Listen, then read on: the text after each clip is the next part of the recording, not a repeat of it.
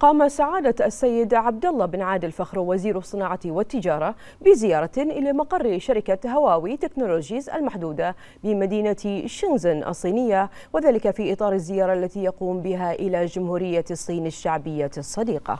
جاء ذلك ضمن سلسلة جولاته لعدد من المؤسسات الصينية الرائدة.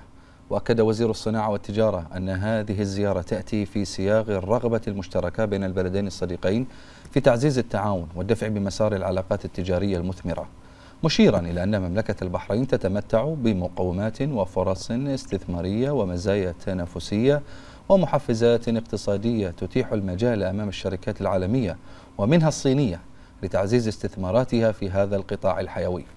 وخلال الزيارة قام سعادة الوزير بجولة في مقر شركة هواوي واطلع على أحدث التقنيات والابتكارات التي تقدمها الشركة. كما تم عقد عدد من اللقاءات مع كبار المسؤولين في الشركة لبحث فرص التعاون المستقبلية في مجالات متعددة بما في ذلك تطوير البنية التحتية للتكنولوجيا وتعزيز التكنولوجيا الرقمية.